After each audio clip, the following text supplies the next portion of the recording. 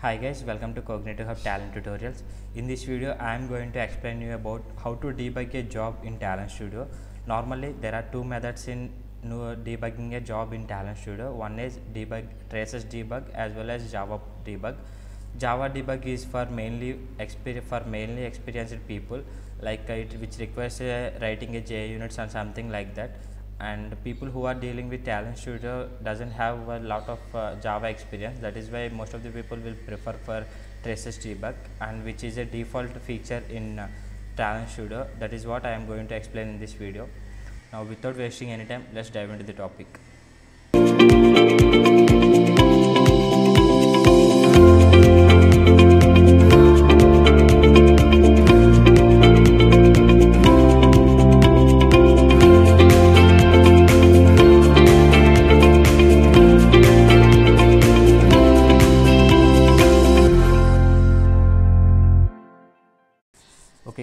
here what i am doing is i have opened a job that i have previously created while illustrating the filtering using a tmap editor.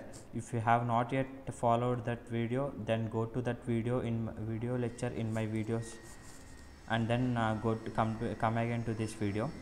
Now what i am doing is i want to illustrate the how to use the debug option in uh, talend studio. Now what i am doing is i am going to run tab here and I'm in the if it is in the basic run mode it is not showing any of any special buttons here for the connectors. Whenever I change it to debug run observe the changes that are appearing in the designer designer panel. Now if I click to debug run then it is uh, observing a few you are getting some few buttons here. For every connector there, there is one each button here. So this button is for this row like uh, for out 1 and this is for out 2 and this is for row 1 so for every connector where the content is moving from one component to another component you will be getting this type of components automatically when you move to debug run mode. So we have two types of options here as i have already mentioned in the intro this is one is java debug and traces debug. Java debug is for experienced people and people who are writing for writing JUnits and all. And traces debug is for people who have very little amount of java experience. And uh, people who doesn't have any experience on java can also be able to learn how the debugging will run.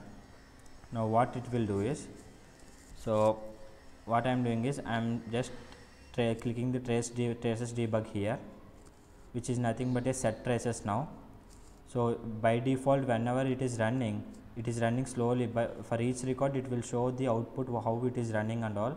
At that point of time it is getting the pause button. If you want to resume the uh, input then you can also click that pause button. I am running it again. I am clearing it and i am running it again see the debug button here. It is here it is showing pass. I am just clicking it. So it, what it is showing is it is click it is showing as resume. Now the current input is the current output in the table is henry. And that means uh, it is some part of row and rakesh. So henry which is not matched with rakesh. That is why it is going to uh, that second uh, log output row. And i am clicking it again. So it is again pausing I am clicking it again. Now it is running again. So this is how it will get executed. So whenever traces debug is running you have a, you have two options available. One is resume button as well as pause button. You want if you want to pause the execution there itself then whatever the like whatever the record that is currently executed that is appear in your uh, designer suppose if you want to resume the uh, execution and again you want to pause at some record then you can also do that uh, using a traces debug option. So these are nothing but a like uh, set traces. I am clearing it again. So each each button here is nothing but a set traces. If you want to in disable this output like suppose if you if i don't want to show the if i don't want to like uh, debug the values that are running from first component to tmap component. Then i can also disable these traces here. I am i am clicking disable traces here. So observe the icon change here. Icon change to plus button to minus button. So i am clicking traces debug again. So what is it getting it? It will only get the two tables. One is uh, for row 1 and another one is row 2 so there is no table for t like row 1 main one. So this is how you can disable the traces where you don't want the debug where you don't want to debug. So i am again enabling is traces enable. So it is come to original uh, mode. Now what i am doing is i am double clicking this each button. I want to print like suppose if i don't want to print the age here for this uh, input i am unclicking the age and i am clicking ok. Suppose i don't want to print uh, last name here. I am unclicking the last name and clicking the first name and age as enable. And similarly for T-log row 1 i don't want first name. I want only rakesh uh, last name and age. So i am unclicking last name. So what i am doing is i am saving it. That is how you can like uh, you can change you can change the options uh, like in, you can change the options using a setup traces mode. So i am again clicking the traces debug so observe the changes in the tables. So here for the first row you are getting only first name and last name. For the t log row 2 you are getting only first name and age. For the t log row 1 you are getting only last name and age. So this is how you will get the outputs.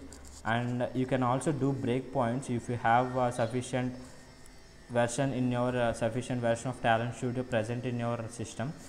I am using a talend free open software that is why i am not getting here uh, that uh, enable breakpoint option.